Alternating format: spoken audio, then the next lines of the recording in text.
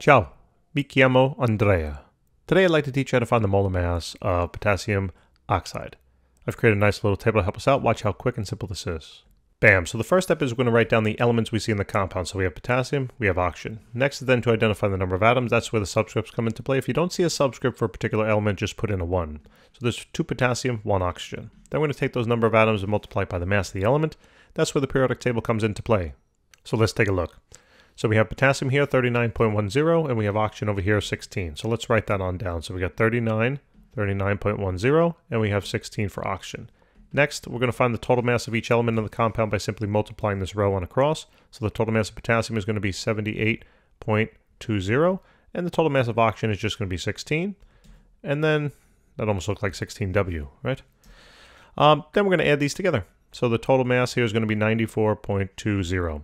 Since we're solving for molar mass, the units here are in grams per mole.